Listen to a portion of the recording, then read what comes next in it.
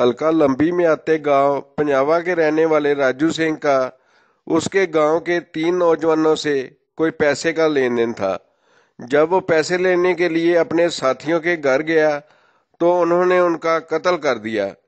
मृतक राजू सिंह के रिश्तेदार बाबू सिंह की ओर से जानकारी देते हुए कहा कि राजू सिंह का गाँव पंजावा के सोनी, विक्की और रजवंत से पैसे का लेन देन था।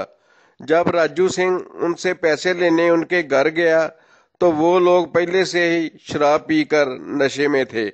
जिन्होंने राजू सिंह पर तीखे हथियारों से वार कर, जख्मी कर दिया, जिसके वापस घर आते ही मौत हो गई। उधर जिला पुलिस मुखी गुरमीत सिंह ने कहा कि मृतक के वारसों के बयानों के आधार पर दोषियों के खिलाफ 302 का मामला दर्ज कर लिया है और अगली कार्रवाई की जा रही है।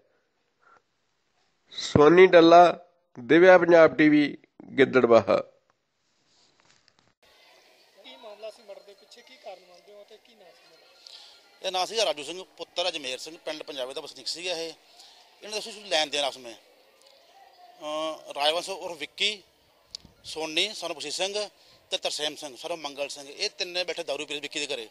ਇਹ ਉਹਨਾਂ ਕੋਲ ਪੈਸੇ ਲੈਣ ਗਿਆ ਸੀ ਆਪਣੇ।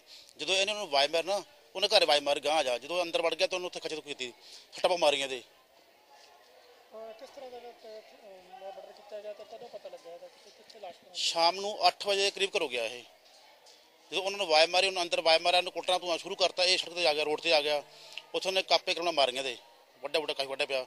ਇਹ ਭੱਜ ਪਿਆ ਫਿਰ ਉਹ ਮਗਰ ਭੱਜ ਪਏ ਦੇ ਫਿਰ ਉਹਨੂੰ ਢਾਲਿਆ ਇਹਨਾਂ ਨੇ। ਜਿੱਦਾਂ ਕਿ ਬਹੁਤ ਹੀ ਨਾੜ ਕੱਟੀ ਗਈ ਦੀ ਨਸ ਨਾੜ ਕੱਟੀ ਗਈ ਦੀ ਲੱਤ ਵਾਲੀ। ਜਿਹੜਾ ਸਾਰਾ ਖੂਨ ਵਹਿ ਗਿਆ। ਕਿੱਥੋਂ ਲਾਸ਼ ਬਰਾਮਦ ਹੋਈ? ਲਾਸ਼ ਫਿਰ ਘਰੇ ਆ ਗਿਆ ਜੀ। ਪੰਜਾਬੇ ਆਪਣਾ ਘਰ ਸੀ ਉੱਥੇ ਘਰੇ ਪਹੁੰਚ ਗਿਆ ਇਹ ਢਰੰਦਾ ਤੇ ਘਰੇ ਆ ਕੇ ਪੈ ਗਿਆ।